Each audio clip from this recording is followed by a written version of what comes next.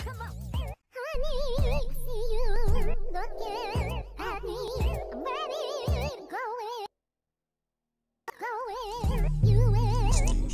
reality and truth is reality is never as the same truth is only fractional truth is one that acknowledges that there is no lie.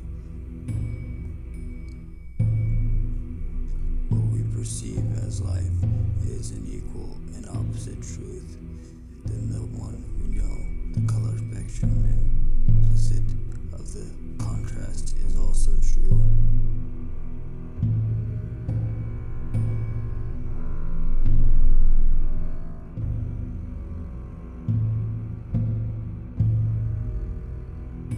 Some of us are colorblind. This is not their truth.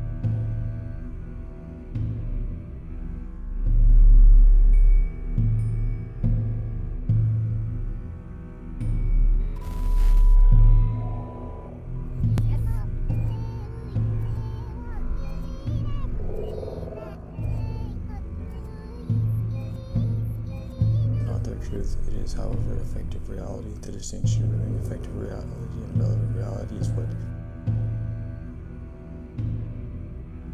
reconciles dynamically with.